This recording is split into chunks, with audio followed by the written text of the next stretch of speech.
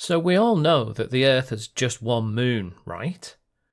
Well, the actual number of moons that the Earth has might be a little bit more complicated than that. Let's find out more.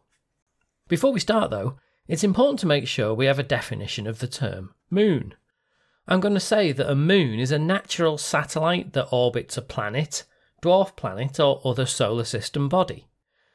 A moon is actually a bit of a colloquial term derived from our own moon, but I'm going to use the term instead of natural satellite for two reasons.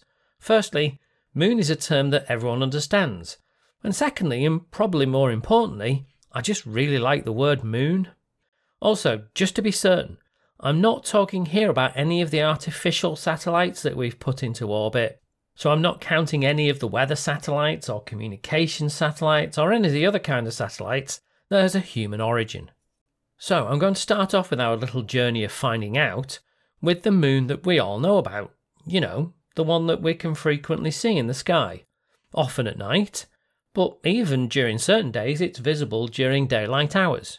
It orbits the Earth at a distance of 384,000 kilometres, or roughly 238,000 miles. That's actually 1.28 light seconds. So when you look up at the sky and see the moon, you're actually seeing the moon as it was just over a second and a quarter ago. The moon orbits the Earth in 27 days, 7 hours, and 43 minutes, give or take. This is called a sidereal month. However, the time between one new moon and the next new moon, which is called the synodic month, is slightly longer. This is because when a new moon happens, the moon is between the Earth and the Sun, and so we can't see the light from the Sun reflecting off the moon because the sunlight's coming from the wrong direction. As a result, the moon isn't visible from the Earth. As the moon orbits the Earth, the Earth continues to move in its orbit around the Sun. So when the moon gets back to its same position relative to the Earth, the moon isn't actually in the same alignment between the sun and the Earth, and must travel a little further in order for us to get to the next new moon. This means that the synodic month actually lasts for about 29 and a half days. The moon is also tidally locked. This means that it rotates at the same speed as it orbits the Earth, the result of this is that we always see the same side of the moon, and this is common among many of the moons in the solar system. So that's the moon that everyone knows about. But are there more? Well, the answer is maybe. We might have to stretch our definition a little, but let's see what we can find. And I'm going to talk about a number of possibilities, the first of which are ghost moons. These were first postulated by Kazimierz Kordylewski, I hope I'm saying the name right there, in the 1950s. He later saw them in the 1960s, but their existence wasn't actually confirmed until 2018. These ghost moons, or Kordylewski clouds, occur at Lagrange points in the Earth Moon system. Lagrange points exist between two massive bodies that have a gravitational influence on each other. Between the Earth and the Moon, as we can see here, there are five Lagrange points called L1 to L5. These Lagrange points are places where the gravitational pull of both of the bodies is sort of cancelled out. That's a bit of an oversimplification, but it'll do us for now. L1, L2, and L3 all lie in line with the two bodies and are often unstable. However, L4 and L5 lie at about 60 degrees along the orbit of the Moon here as can be seen on screen. These Lagrange points form an equilateral triangle with the Earth and the Moon. And it's here at L4 and L5 we find these Kordylewski clouds. These clouds are made from very small particles indeed, some of them only as big as particles of dust, but the clouds themselves are huge they take up about 6 degrees of angular diameter. That's about 12 times the size of the Moon, which takes up just half a degree. So these clouds are about 65 by 45,000 miles in size. That's nearly 105,000 by 72,000 kilometres. One cloud moves ahead of the Moon and the other trails the Moon, orbiting the Earth. Though these clouds are big, They are, however, very faint. Some people have seen them, but they are difficult to spot. And some people who think they've seen the clouds have actually seen the Gegenschein. This is a patch of slightly brighter sky seen at night, directly opposite the Sun, and it's caused by the backscatter of light off interplanetary dust. So, even though these clouds are not considered to be moons, they're certainly interesting. But that isn't the end of our story, so let's move on and have a look at our next possible moons. So, next up, we have what are known as quasi satellites. These are bodies that orbit the Sun rather than the Earth, but orbit in a similar location to the Earth and take about the same time as the Earth to orbit the Sun. Quite often, they have orbits that are more oval in shape than that of the Earth, and this means that even though they're orbiting the Sun, from the point of view of an observer on Earth, they look like they're actually orbiting us. There are a number of known quasi satellites of Earth, including 469219 Kamoʻoalewa, I hope I pronounced that correctly. This is a small asteroid with a diameter of roughly 40 to 100 metres, that's about 130 to 330 feet. Also, 2004 GU9, this is between 160 and 360 metres in diameter, that's about 520 to 1200 feet.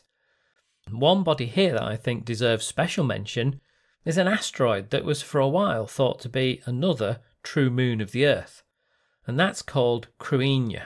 Again, I hope I'm pronouncing that correctly. This is a large body with a diameter of roughly 5 kilometres or just over 3 miles. This orbits the Sun close to the Earth, but its orbit relative to the Earth traces out a horseshoe shape, taking about 770 years to complete one horseshoe like movement around the Earth. All of these quasi satellites lie outside of the Earth's Hill sphere. The Hill sphere is a sphere around the Earth inside of which the Earth's gravitational influence dominates. Any true moon would have to lie within the Earth's Hill sphere. The next group of objects that we're going to look at are called Trojans. These are another group of quasi satellites, but ones with quite particular characteristics. These objects lie around the Lagrange point between the Earth and the Sun. Just like the Earth and the Moon having Lagrange points, like we saw before where the Kordylewski clouds exist, there are Lagrange points in the orbit of the Earth around the Sun. They lie in the same relative places and have similar characteristics. Trojans occur at the L4 and L5 Lagrange points, which are the most stable, though in fact we've only ever found Trojans at the L4 Lagrange point, that's the one that precedes the Earth in its orbit around the Sun. These bodies not only orbit the Sun, but also orbit around this Lagrange point. And we've discovered two Earth Trojans so far. The first is designated 2010 TK7, which is uh, roughly 300 metres or about 1,000 feet in diameter, and this was discovered in 2010 by the WISE Space Telescope. It orbits the Sun but also travels in what's known as a tadpole orbit, moving closer to and further away from the Earth, taking 395 years to complete one loop. The second Trojan, designated 2020 XL5, was only discovered in 2020. This is larger than the first, being about 1.2 kilometres, or that's about three quarters of a mile in diameter. If it was visible from the Earth, it would trace out a slow oval pattern in the sky as it goes about its tadpole orbit. In 2022, this body was given the permanent designation 614689 and officially recognised as a minor planet. This means it's now eligible for a name, and bodies of this type are typically given mythological names. Our final possibility for extra moons are temporary moons. These are asteroids that normally orbit the Sun, but if they venture too close to the Earth and are travelling slow enough, they can be captured by our gravity and will remain satellites of the Earth for a period of time before being recaptured by the Sun and moving off into a solar orbit once again.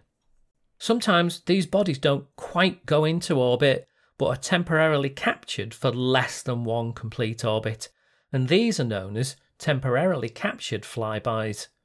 Bodies that complete at least one full orbit are known as temporarily captured orbiters. A number of these temporary moons have been detected, and these include 2006 RH120. This body, 2 to 3 metres, that's between 6 and 10 feet in diameter, was first discovered in 2006. It completed one orbit roughly every three months until it left Earth orbit in June 2007. It appears that 2006 RH120 comes into close proximity to the Earth roughly every 21 years, so on its next close approach, it may well become a temporary satellite once again.